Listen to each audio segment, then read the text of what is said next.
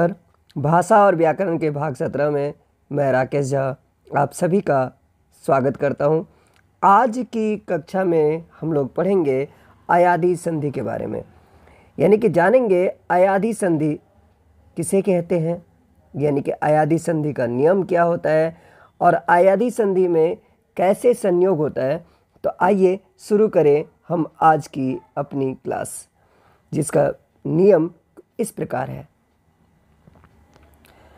यदि ए, ऐ, ओ या औ के बाद भिन्न स्वर हो तो ए का ऐ ऐ का आय या आई, ओ का अव औ का आव, आवी आबू हो जाता है। इसके जैसे ए प्लस अ, ऐ, ने प्लस अन, नयन। इसी प्रकार ऐ प्लस अ, आय गई प्लस अक, गायक। ऐ प्लस ई, आई, नई प्लस ई का नायिका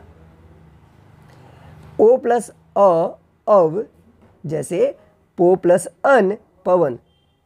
औ प्लस अ, आव, पौ प्लस अन, पावन। ओ प्लस ई, आवी, नौ प्लस इक नाविक। औ प्लस उ, आवु, जैसे भौ प्लस उक, भावुक। उम्मीद है आपको ये वीडियो पसंद आएगी। पूरी वीडियो देखने के लिए आपका बहुत बहुत धन्यवाद।